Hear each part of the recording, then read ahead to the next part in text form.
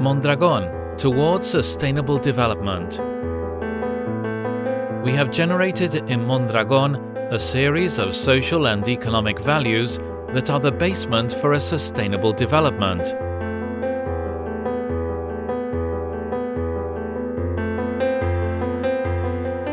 We are actively working to create a better future for the villa.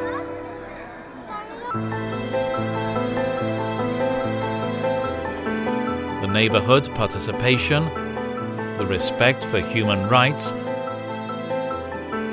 the citizens' welfare, the equality of opportunities between men and women, the enhancement of the Basque language and its history recovery are the key factors for a supportive Mondragon of sustainable development.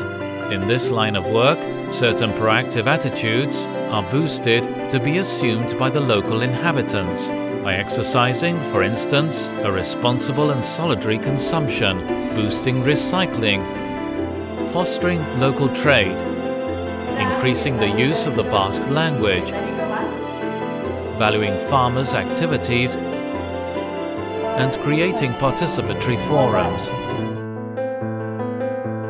In this sense, it is worthwhile stressing the reassessment of the local market by means of actions destined to its revitalization and use by the inhabitants of Mondragon.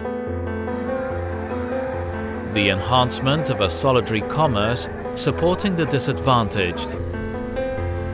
The same is true for the concept of Mondragon as a nice and interesting place for the local commerce. And the implementation of policies which favor pedestrians over the car culture. Or initiatives aimed to improve recycling practices and the citizens' awareness of the residues problem. All that must be the result of the awareness of the population and the adoption of a critical attitude concerning all these subjects.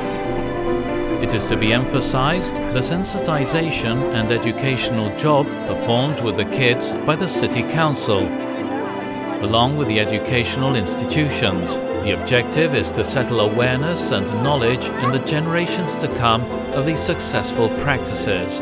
Apart from the questions related to economy and consumption, cultural and informational actions are being taken, such as the recovery and popularization of the history of Mondragon, focusing on the own identity reassurance or the boost of our language, Basque. All these activities and plans are boosted by the City Council. At the same time, several organizations and associations get involved with them channeling the citizenship initiatives aimed to achieve the general agreement.